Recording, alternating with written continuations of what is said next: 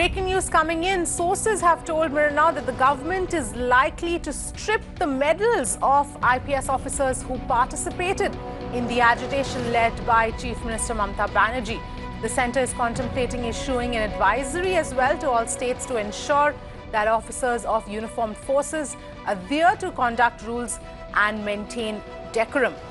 Those are the details coming in. This comes on the back of the dharna that was held by uh, West Bengal Chief Minister Mamata Banerjee after uh, the dramatic developments uh, that happened on Sunday evening outside the police uh, commissioners, the Kolkata police commissioner's uh, residence when CBI went there to question him and weren't uh, they and they weren't allowed to question him.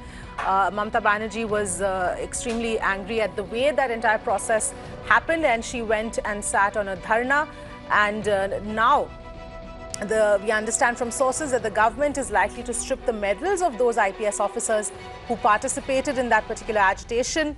Uh, Centre is also contemplating issuing an advisory as well uh, to all states in this regard. Uh, Meenakshi Bhanja joining us on.